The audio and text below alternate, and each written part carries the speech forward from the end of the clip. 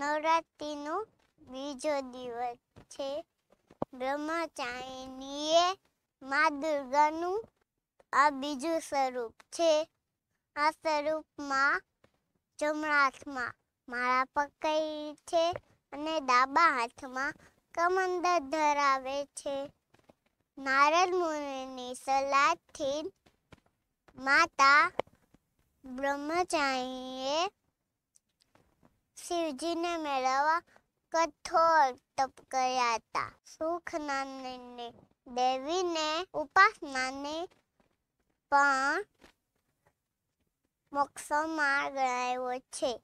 એવું માનવામાં આવે છે કે માતા શક્તિએ પૃથ્વીમાં કરવા બ્રહ્મજ્ઞાનને પ્રાપ્ત કર્યું હતું. અને તેથી જ બ્રહ્મચારી નામથી તેની પૂજા થાય છે.